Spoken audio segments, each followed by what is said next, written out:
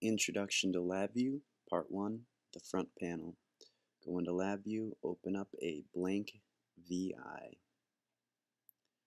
You'll see that you get two windows, a front panel and a block diagram, also maybe some palettes.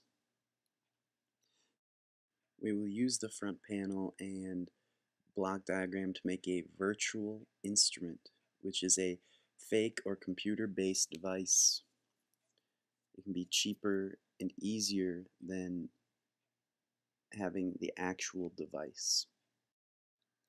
So we want to be able to turn our front panel and block diagram into a device like a CD player or a VCR or a graphing calculator and LabVIEW will do the same work as those devices but on your computer. So let's open up the simple calculator on our computers already which is actually also a virtual instrument. And let's make our front panel look like the calculator. If you don't have this control palette, then you can control click on the front panel and it will bring up this palette for you to use. You probably want to spend some time exploring the different options you have but I'm going to start making this calculator. I want to decorate it some, so I'm going to choose decorations and make a shape similar to that of the calculator.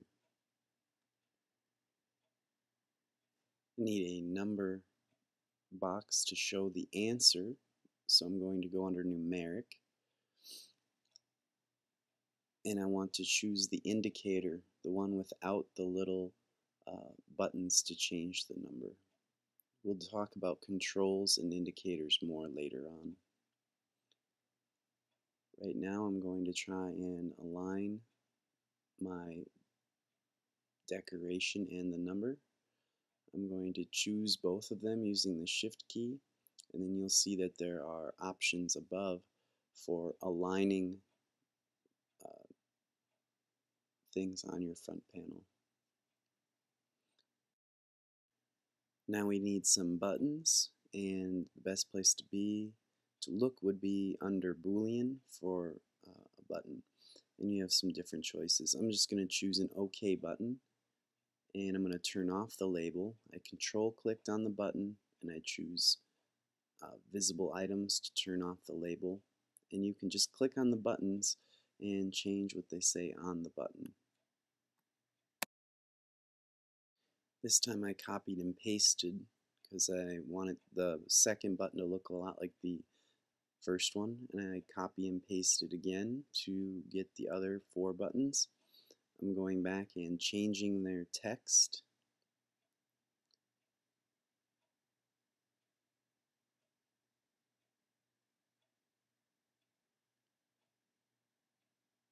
I'm going to choose all four of them.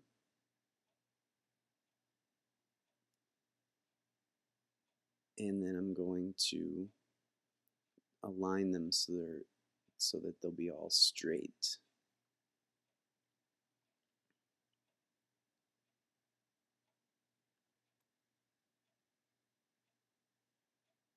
And then I want them to be spread out evenly.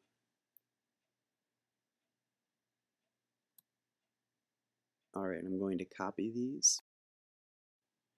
In case you are unfamiliar, Command C is for copying and Command V is for pasting. So I just pasted some more buttons and now I'm going to change what they say by clicking on them and editing their text. I'm going to do that for the rest of the buttons very quickly here, copy and pasting the buttons and changing the text until I have all of the buttons.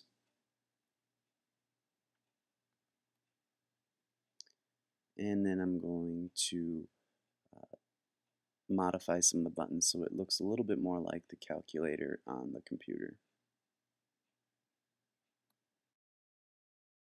Alright, we finished the front panel for our first virtual instrument, a basic calculator. You can see that for everything you put on the front panel there is something that corresponds to it on the block diagram. We will learn how to wire up the inside of the block diagram later. Alright, so there's our calculator. Make sure that you are always saving your work so you don't lose it. To save your work, the shortcut is Command S. Make sure you save it in a place where you can find it easily later on.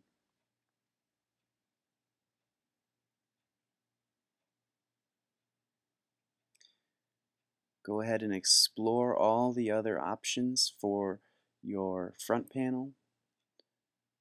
There are many different things you can try out. There's classic buttons that look a little bit different.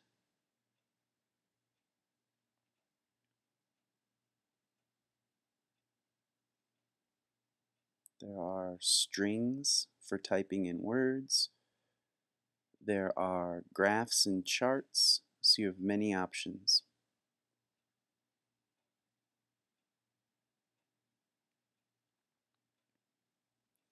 Your challenge is to find your own device and make your own front panel.